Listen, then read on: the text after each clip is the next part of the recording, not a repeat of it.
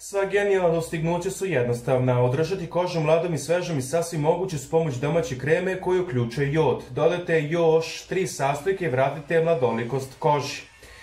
Imam prijateljicu koja sebi pravi domaću kremu za lice, svake večeri i njome maže kožu.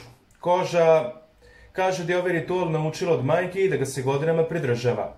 Kune se da nikada nije kupila ni jednu kremu protiv bora. Da li to do genetike ili do kreme ne znam, ali znam da izgleda veoma mladu u odnosu na svoje godine. Od svih nas koje smo nekada zajedno išli u srednju školu, ona izgleda 10 godina mlađe. Ovo je recept za njenu domaću kremu. Jedna kašika domaćeg meda, jedna kašika vazalina, jedna do dve kapi jode i jedna kašika ricinosovog ulja. Priprema sve se stavi u staklenu teglicu i izmeša se dobro drvenom kašičicom. Čuva se u frižideru, ali ne duže od mjesec dana i ne pravi se dupla doza. Ona svako večer kožu nahrani ovom kremom, a za bore ne brinite jer ih i nema.